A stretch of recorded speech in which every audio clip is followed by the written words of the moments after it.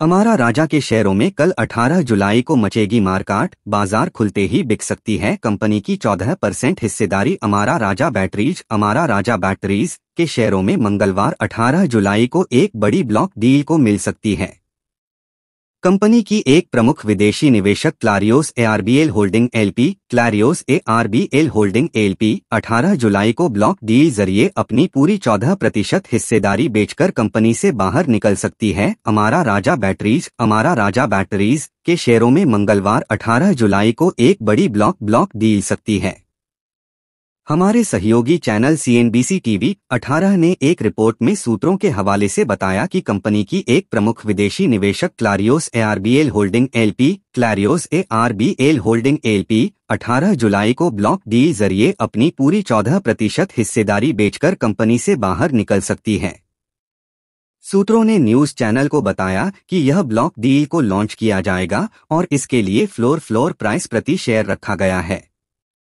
Floor price अमारा Raja batteries के शेयरों के मौजूदा बाज़ार भाव की तुलना में करीब पाँच प्रतिशत कम है।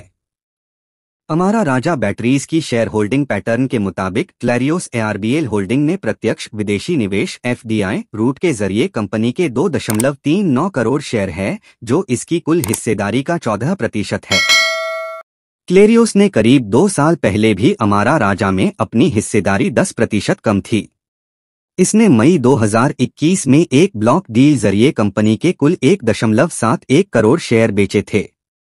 इस बीच मंगलवार 17 जुलाई को अमारा राजा के शेयर छह सौ चौरासी दशमलव आठ पाँच रुपये के भाव पर बंद हुए, जो इसके पिछले बंद भाव के मुकाबले शून्य दशमलव शून्य एक प्रतिशत की मामूली बढ़त थी।